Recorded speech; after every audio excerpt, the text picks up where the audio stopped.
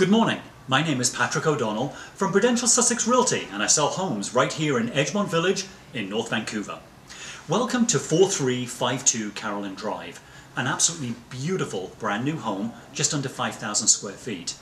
The pictures and the tour are going to be absolutely delicious, but wait until you cross the threshold. You really have to see the interior of the finishings. Two bedroom legal suite, fully fenced, beautiful gardens, lovely finishings. Everything has been done absolutely to the nth degree.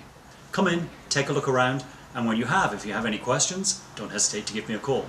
Enjoy the tour.